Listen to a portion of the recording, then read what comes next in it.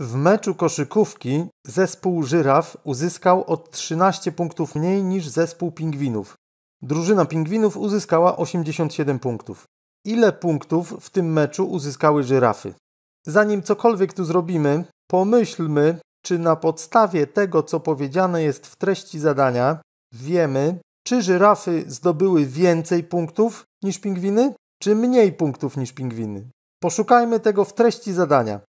Powiedziane jest, że zespół żyraf uzyskał o 13 punktów mniej niż zespół pingwinów. Żyrafy mają mniej punktów niż pingwiny.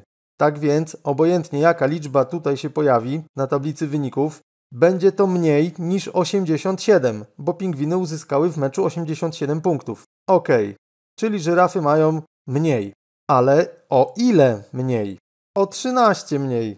Czyli ta liczba, ten znak zapytania, to będzie wynik pingwinów 87.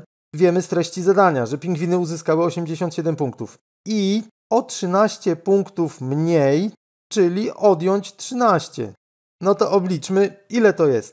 Pingwiny uzyskały 87 punktów, a żyrafy o 13 mniej. Odejmujemy 13 od 87. W ten sposób otrzymamy liczbę punktów zdobytych przez żyrafy. No to najpierw kolumna jedności. 7 jedności odjąć 3 jedności równa się 4 jedności. Teraz pozycja dziesiątek. 8 dziesiątek odjąć 1 dziesiątka to 7 dziesiątek, czyli o 13 punktów mniej niż 87 to 74 punkty. Żyrafy uzyskały o 13 punktów mniej niż pingwiny, to jest wynik pingwinów, a o 13 mniej to jest ta liczba. Tyle punktów uzyskały żyrafy. 74.